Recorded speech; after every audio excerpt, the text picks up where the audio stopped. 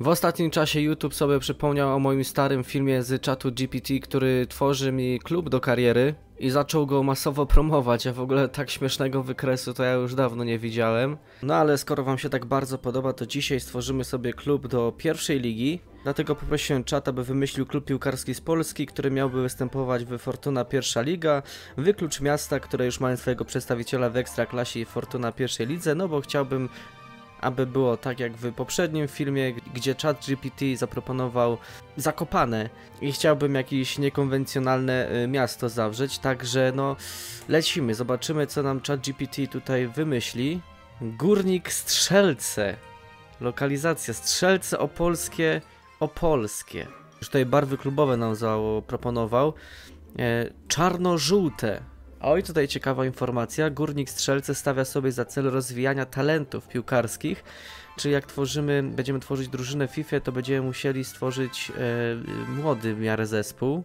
Okej, okay, dobra, no podoba mi się. Strzelce opolskie ile mają mieszkańców? 17 900, czyli troszeczkę więcej niż y, Puszcza Niepołomica, która właśnie przed chwilą zakwalifikowała się do ekstraklasy. Dobra, więc pora wymyślić herb. Nie chce mi się własnej tarczy, czyli kształtu herbu y, wymyślać, także poprosimy ChatGPT, aby nam podał numer od 1 do 26, no i z któryś z tych zespołów sobie po prostu ukradniemy kształt. No i ChatGPT podał nam dziesiątkę, także ukradniemy chle... Y, chleb, co ja?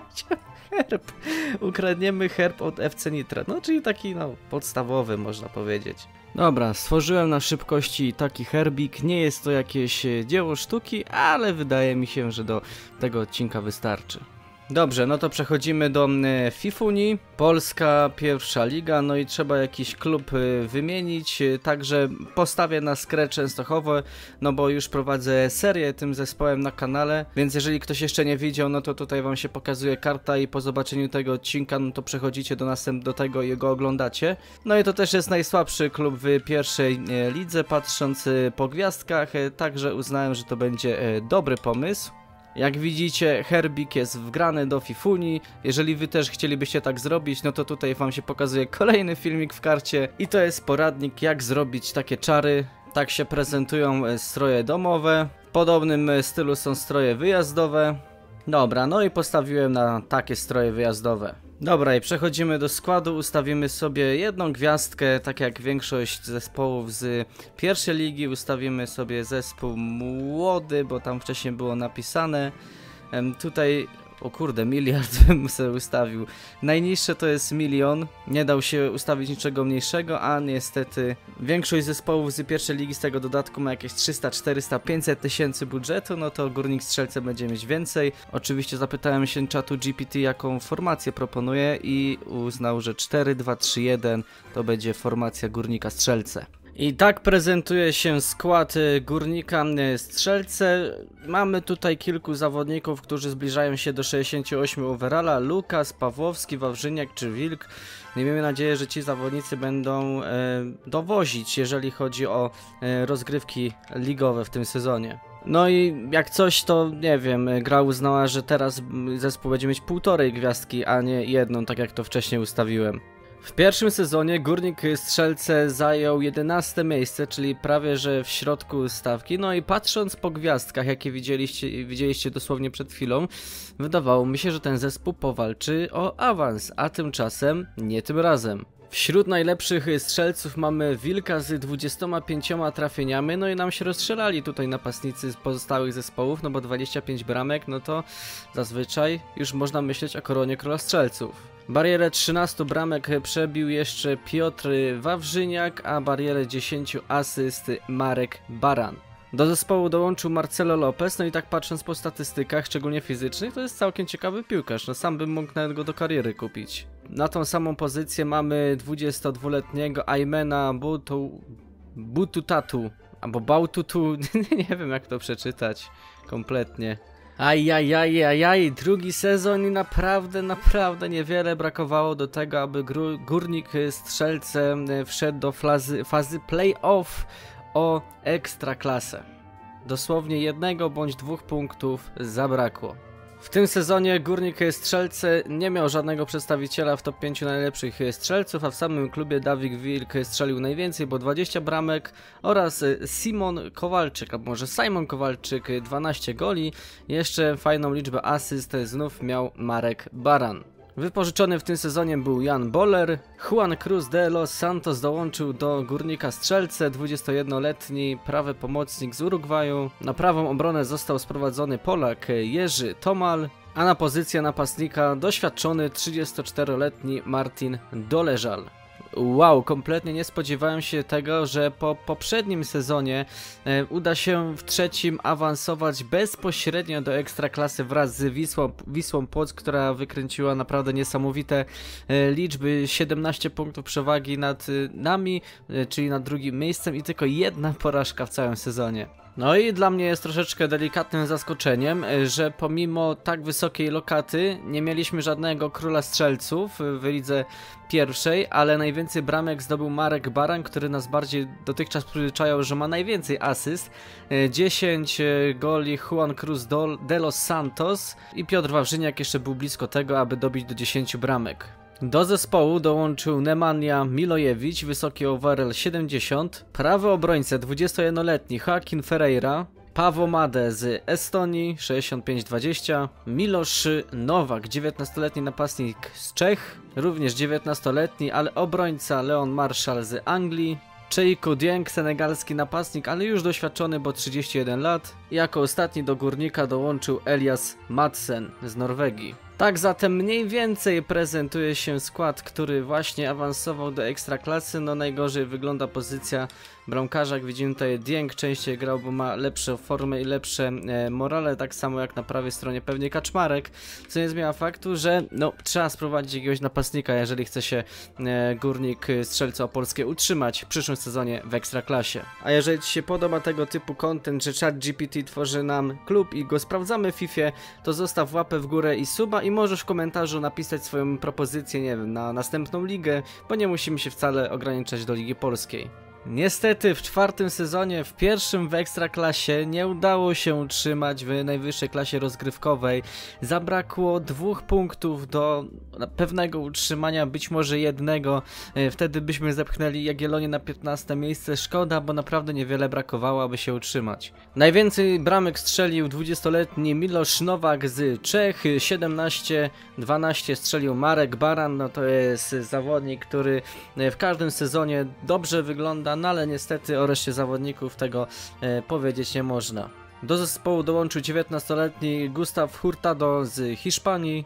Kolejny Urugwajczyk do kolekcji w e, Górniku Strzelce Opolskie Julio Montero. No i to jest ostatni transfer Górnika w tym sezonie. W pierwszym sezonie po spadku niestety nie udało się od razu wrócić poprzez e, bezpośredni awans, ale Górnik Strzelce zajął szóste miejsce, więc będzie bić się w barażach, gdzie niestety w półfinale przegrał z Ruchem Chorzów 2 do 0 i to właśnie niebiescy jako trzecia drużyna awansuje do ekstraklasy. Najlepszym strzelcem i chyba można powiedzieć zawodnikiem tego sezonu był Julio Montero, 14 bramek, 11 asyst, double-double.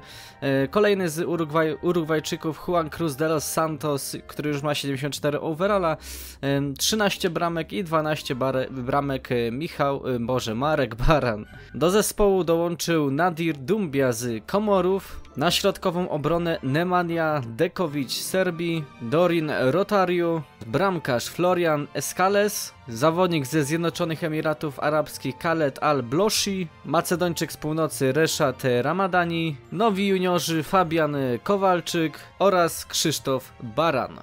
Aj no niestety sezonu na sezon wydaje się, że jest coraz gorzej, chociaż do strefy playoffów nie brakowało dużo, trzech punktów, ale mimo wszystko zabrakło GKS Katowice, Korona Kielce z bezpośrednim awansem. Nad nami Górnik Zabrze to też ciekawe, dwa górniki. Najlepszym strzelcem Nemanja Milojewicz 17 bramek, Julio Montero 15 i barierę 10 bramek, jak i 75 overalla, czyli złotej karty przekroczy Juan Cruz de los Santos. W tym sezonie do Górnika wypożyczony był Dembe Ali, środkowy pomocnik ofensywny z Borussii Mönchengladbach. Do zespołu dołączył Argentyńczyk Gonzalo Rey, oraz y, na drugą stronę obrony Khaled Abdel Fattah z Egiptu. Górnik Strzelce Opolskie po spadku z Ekstraklasy cały czas gdzieś się obijają o tą strefę barażową, ale no nie potrafią się wbić. W tamtym sezonie ósme miejsce, w tym siódme to być może w ósmym sezonie będzie szóste i będzie walka o Ekstraklasę. Najwięcej bramek strzelił Julio Montero, po raz kolejny ten Urugwajczyk jest naprawdę mocny. Marek Baran również można śmiało powiedzieć, że legenda górnika strzelców opolskich, no a tak poza tym no niestety żaden z zawodników jakoś nie wystrzelił w tym sezonie. Z Realu Betis został wypożyczony Antonio Ferreira, i do zespołu dołączył 33-letni Kevin Broll, były zawodnik górnika e, Zabrze w rzeczywistości, także no naprawdę ciekawy transfer. Strzelce opolskie wzmocnił Adrian Burnabao, 33-letni Brazylijczyk. Drugi bramkarz sprowadzony Iwan Lucic z Austrii. Do klubu dołączył również David David. I wypożyczony był również 20-letni Muhammad Keita z Gambii.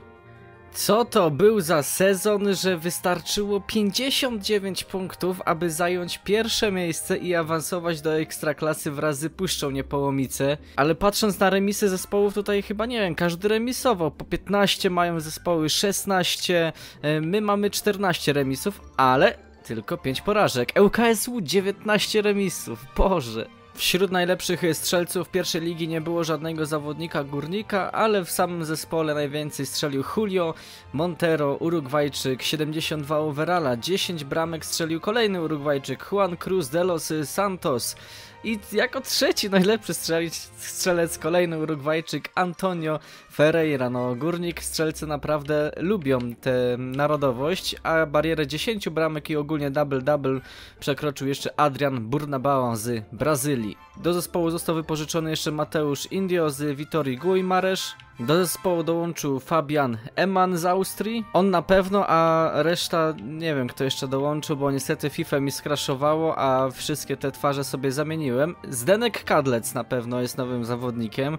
Środkowy obrońca z Czech, no to wam pokażę przy okazji wszystkich piłkarzy. No i tradycyjnie przy awansie do ekstraklasy pokazuję wam jak wygląda skład. Praktycznie każda pozycja jest oceniona minimum 70 poza środkowym mm, obrońcą. Czy ten skład wystarczy do tego, aby utrzymać się w ekstraklasie? Wydaje mi się, że może być troszeczkę, troszeczkę ciężko. Jest, mamy to, utrzymanie Górnika Strzelce Opolskie w Ekstraklasie. Co prawda niewiele brakowało, no punkt przewagi nad 16 y, Arką Gdynia, ale liczy się sam fakt, że w przyszłym sezonie nasz zespół stworzony przez GPT w ostatnim sezonie, bo to jest sezon 9, zobaczymy. A mistrzem Polski jest Krakowia. Ciekawe.